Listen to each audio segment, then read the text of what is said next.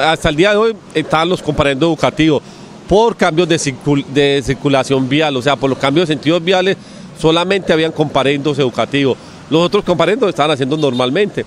En ese momento que estamos haciendo, iniciamos desde la semana pasada con el control de placas, que todos los vehículos que van a circular en las vías públicas deben portar su placa debidamente ubicada en la parte de atrás, en un lugar visible, donde lo, como lo dice la norma.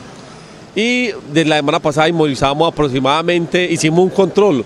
Aquí en Turbo es algo muy, me llamó mucho la atención, hicimos un control donde retuvimos por ahí 80 motos.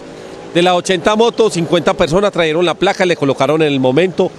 Ahí mismo, en ese mismo sitio, le colocaron la, placa. Entonces subsanaron la infracción. Me llama mucho la atención de que todas las personas matriculan los vehículos y guardan la placa.